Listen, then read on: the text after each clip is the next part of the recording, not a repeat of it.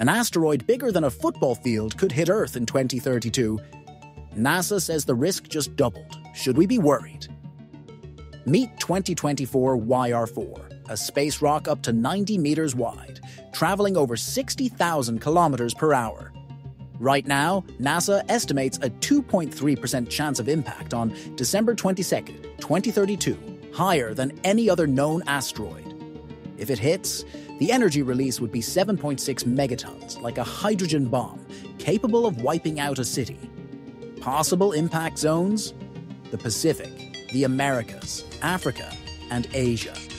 Scientists are racing to refine their predictions. James Webb will scan the asteroid in March.